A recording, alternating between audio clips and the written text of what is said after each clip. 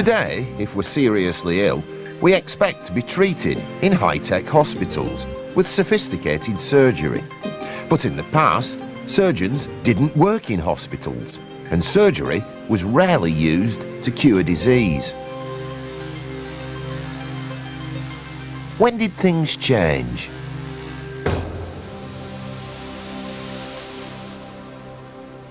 Surgery has existed for thousands of years, but in the past it was usually only used in emergencies.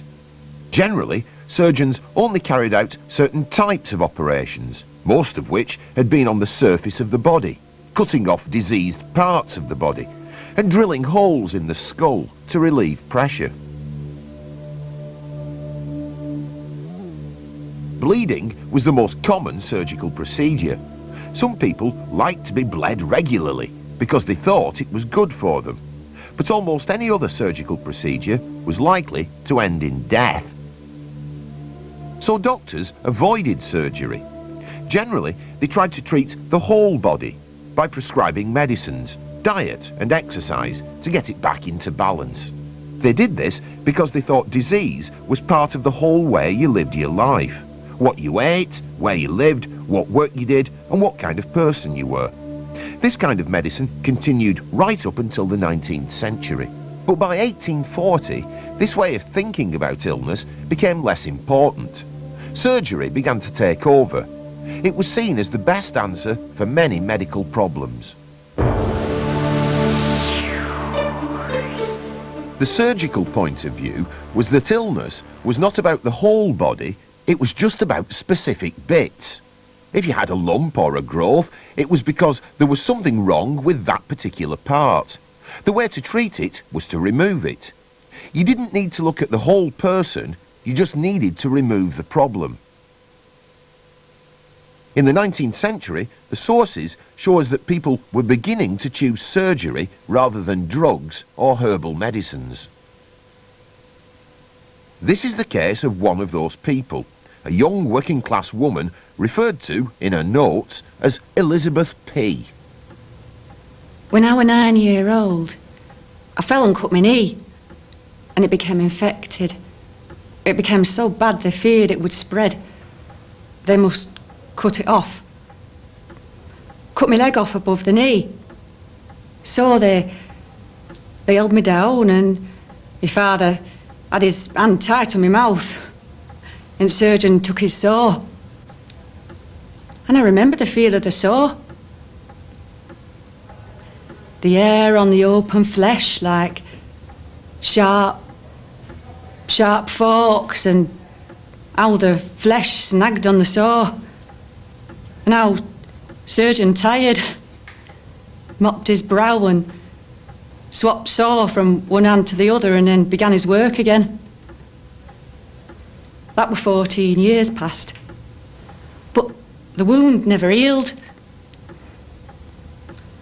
I cannot remember a time I've not felt pain in this stump.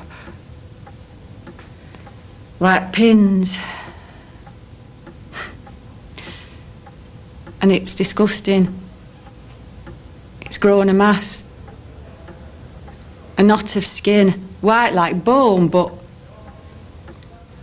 covered in fungus, which when you touch it is, is very tender and oozes and it hurts. And so, though I know what it is I ask for, I want them to take off what's left of my leg.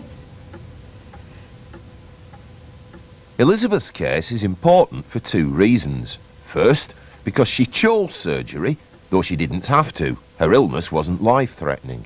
Second, because she was poor surgeons were treating more and more working class people.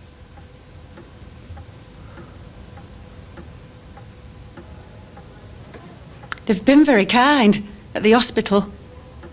My consultant is Mr. William Sands Cox. He's a gentleman. When he examines me, I do not feel any shame.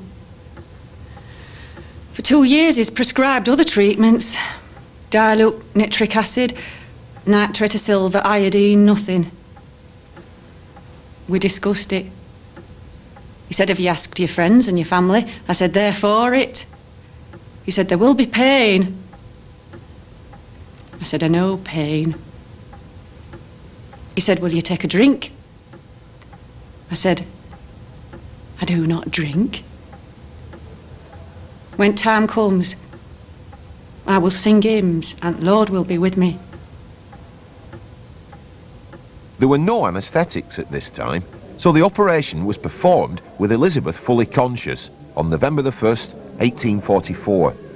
In the medical newspaper The Lancet, William Sands Cox described its progress. At half past 11 a.m., the point of a narrow double-edged knife 12 inches in length was introduced at an inch below the anterior superior spinous process of the ilium and carried across the neck of the femur parallel with and a little below the Poupart's ligament beneath the muscles of the anterior region of the thigh. In fact, it takes longer to describe the operation than it did to perform it.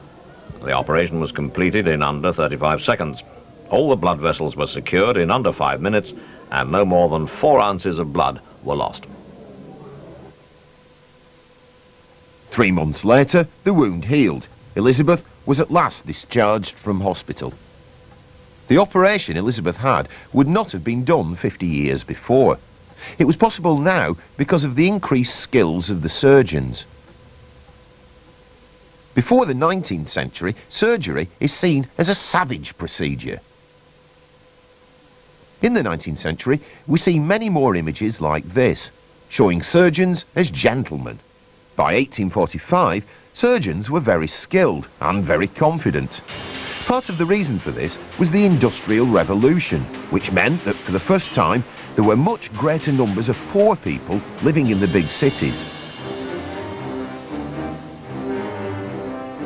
In the past, people like these had lived in the countryside and relied on magical cures, herbal medicine and wise women. They'd not usually been treated by doctors or surgeons. Now there were many more opportunities for surgeons to practice and to get jobs in hospitals like this one, set up with charitable donations for poor working class people. It meant more jobs for surgeons, but because these patients were poor, the surgeons were more powerful and could experiment. This helped them to become more important in the medical profession.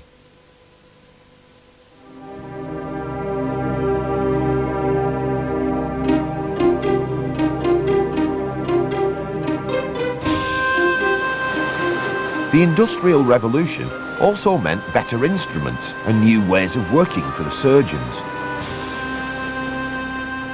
For thousands of years, surgical instruments had stayed the same. The kind of instruments used by the ancient Romans would be recognised by any surgeon even today. But in the 19th and 20th centuries, surgeons created many new devices that helped them to carry out very dramatic new operations. 1816, the stethoscope. 1870, the steam carbolic spray. 1895, X-rays. They could now begin to go deep into the body, developing anaesthetics to lessen the pain of operations, antiseptics to keep the wounds clean, and methods of preventing blood loss to stop the body going into shock. By 1922, Harvey Cushing was carrying out successful operations on the brain. He sawed through the skull and used hundreds of clamps to keep blood vessels closed. They were made of steel, so they were sterile, he deliberately used all the methods of working in a sterile environment, using a special room instead of a public hall, using clean clothes for all the doctors and nurses. He even insisted on no unnecessary talking in the operating theatre, as he believed it spread germs. This film was made in 1931. By this time, Cushing was carrying out his 2000th brain operation. The operations often lasted many hours as the after effects of deep ether anesthesia over such a long period could be severe, Cushing worked with a local anesthetic with just enough ether to keep the patient unaware of what was going on.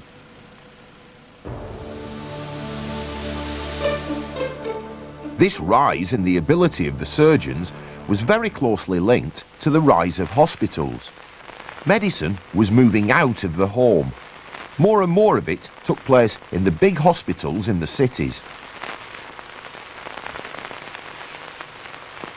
By 1922, hospitals and medical care for ordinary working class people was very well established.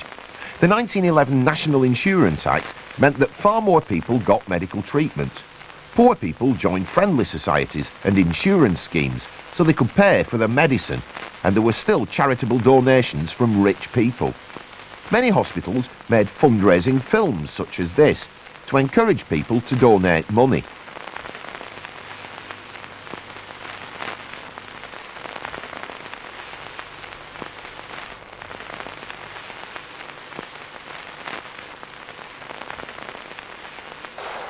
This reconstruction is based on the hospital records of one of those hospitals, Charing Cross Hospital, for one day in 1922. The drugs available were not very different to the herbal remedies used for thousands of years.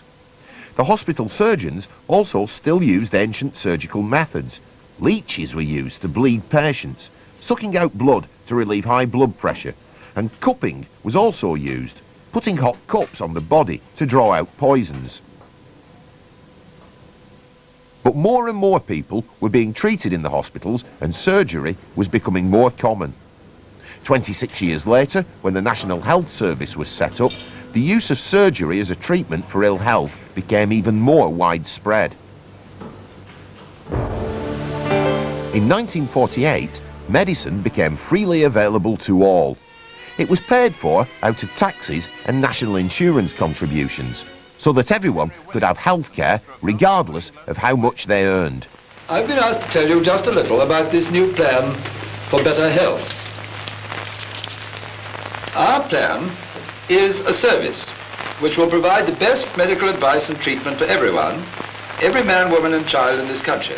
For the first time, high-tech surgery and expensive drugs were freely available to poor patients. They didn't have to rely on charity, as many had in the old hospitals. The evil of disease must be overthrown. The voluntary hospital and the expensive nursing home are not enough to maintain this nation in good health. The finest surgery must be for all. Disease is too deep-rooted for the hurried diagnosis of the ordinary doctor with his few stock medicines. State funds must subsidize research on an adequate scale. The completely free service didn't last. By 1952, just four years later, prescription charges were introduced as the costs of maintaining the service became larger than the government was willing to pay. To a shilling per item, but the doctor gets no more. Costs are rising for all of us, for the healthy, for the sick, for the chemist, for the doctor.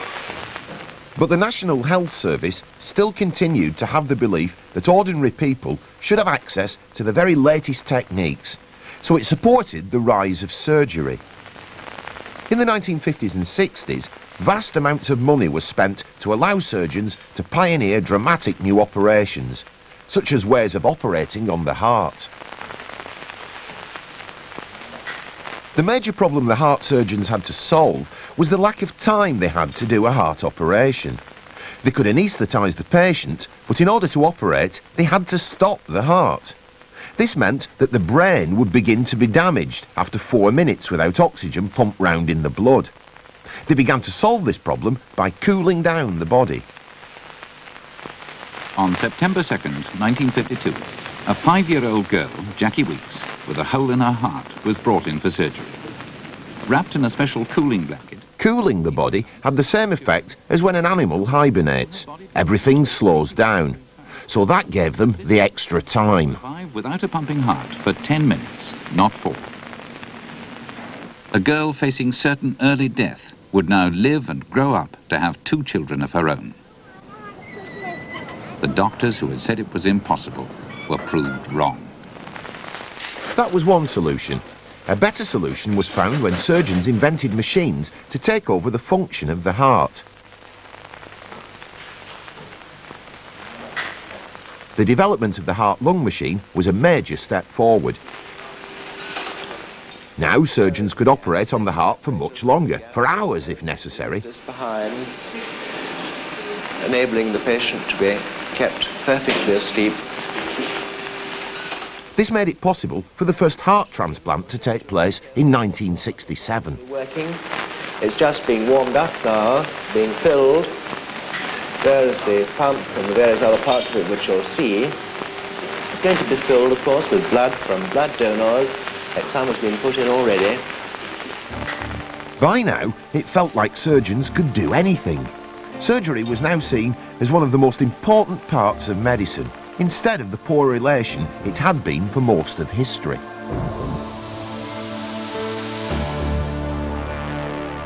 Because of the rise of surgery, other ways of treating illness became less important.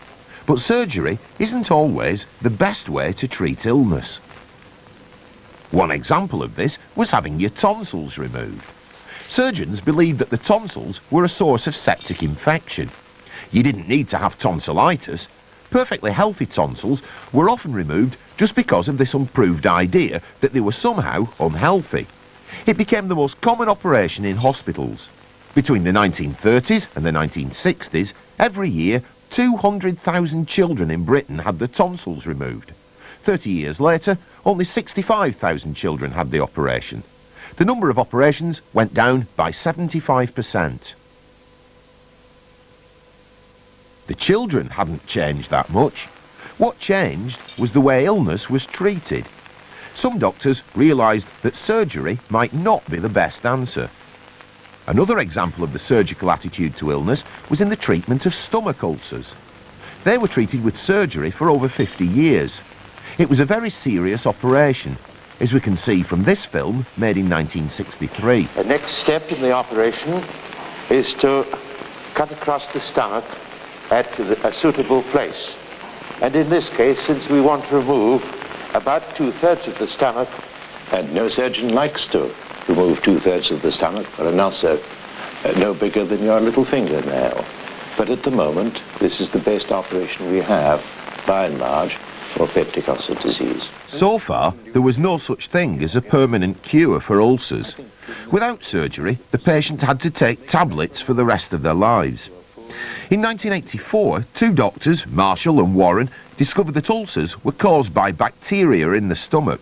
But nobody believed them, or wanted to believe them. So after a while, you had more and more and more patients taking this expensive medication every single day. Now you can see with so much money rolling in from this treatment, there was not really much incentive for these drug companies who were making that type of treatment to look for a new treatment which would perhaps cure ulcers and not make as much profit. Other surgeons also refused to believe them because all the medical textbooks said that no bacteria could live in the stomach. Over the last century or so, um, nothing had been found growing in the stomach.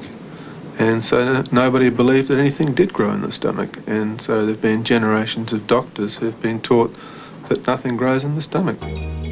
They continued their research.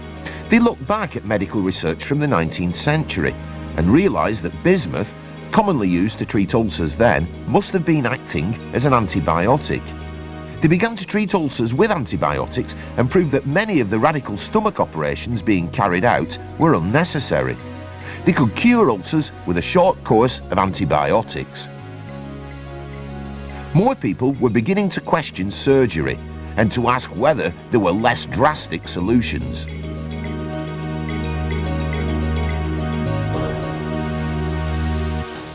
Surgeons themselves also began to look for ways of operating which were less damaging to the body. Surgeons in Liverpool have carried out an operation to remove a tumour from a man's lung using pioneering keyhole surgery.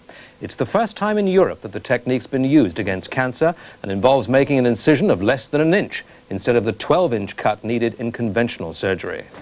Ramsey Dickens has lung cancer. He had smoked cigarettes from the age of 12, though he gave up 20 years ago. But his tumour is small, so doctors in Liverpool have chosen him to be the first to undergo keyhole surgery for his disease. This could only happen because the ways of seeing inside the body improved dramatically. For most of the 20th century, the only way surgeons could see inside the body was through X-rays. New technologies, such as scans and magnetic resonance imaging machines, meant a much better picture for the surgeons. Within 20 years, we'll be looking back on the 80s and 90s as some form of oddly barbaric times where they used to open patients up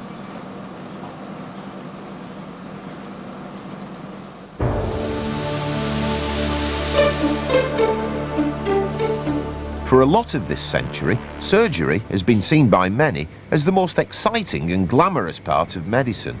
Surgeons have operated in big hospitals and developed ever more sophisticated ways of carrying out operations. But will that continue to be the case? Much of what's been done in the health service over the years has been through custom and practice and, and fashion, really. Fashion has driven medicine just as it's driven other things. And surgery has been seen to be among the most prestigious specialties. It's attracted people with a particular way of thinking or approach to life. Surgeons are seen to be miracle workers and uh, heroic individuals who can save lives. There's some uh, thing about medicine being linked to surgery and being linked to operations and the kind of hands-on role, actually tangibly doing something to people, repairing people. And the media, I think, have reflected that in, in programs about healthcare. Healthcare programs, certainly generally, have been much more about what goes on in hospital, delving around inside people's bodies, than actually about what was on in the community or what was on in primary care, which is less visible and less tangible, but arguably maybe, maybe more important. If surgery becomes less important, what will replace it in the medicine of the future? I think uh, medicine's going to change quite radically. I think there's going to be less need for plumbing and, and, surgical intervention than there will be for drug treatment, which will change the face of medicine. It'll, it'll change the location of medicine. It'll mean that much less is done in big, high-tech uh, hospital centres, uh, and much more will be done in settings much closer to people's homes in the local community. Uh, so in a sense, we are going back, but we're going back uh, in, in, a way that will actually provide much better health care for people in, in, local home settings. I mean, the idea of the hospital at home, for example, I think will be a novel feature of the, the next century. Another major issue now facing the health service is how to pay for it. There are many current media images about shortages and how healthcare is rationed although people think rationing is a new uh, dilemma for, for the healthcare system, it isn't in fact a new dilemma. It's as old as the, the health service, as old as healthcare generally. I think before the National Health Service, rationing took effect on the basis that people just were denied healthcare, basically. They could get it if they were uh, wealthy or had the, the means to, to pay for it, but there was no healthcare system that was accessible to the whole population. And the health service was about trying to reduce those inequalities and adopt a system of fair access to healthcare. The cost of medicine has always been affected by how much doctors can do for us. For most of history, most people's medical care has been limited by what they can afford. Today, people continue to argue about the cost of health care. Whatever changes occur in surgery, the discussion will continue about how it should be paid for and how it can be rationed.